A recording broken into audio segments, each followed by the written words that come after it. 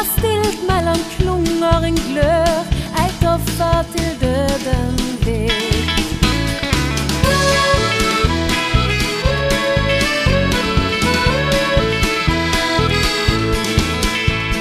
Bøling i heimkjær flokk,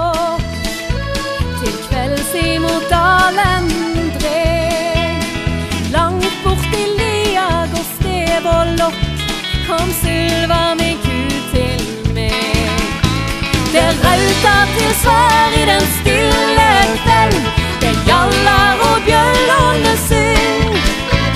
Og kveldssoli spiller som lågandel fra Berglav og Rustrøy.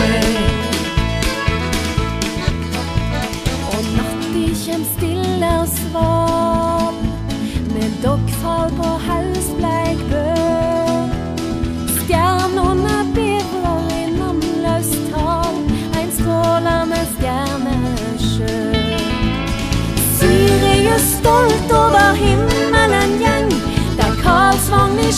på sin kos. Og fullmånen strør over drømmene sitt bleike i ljos. Susa fra skogkledd koll, vakner der av og kjem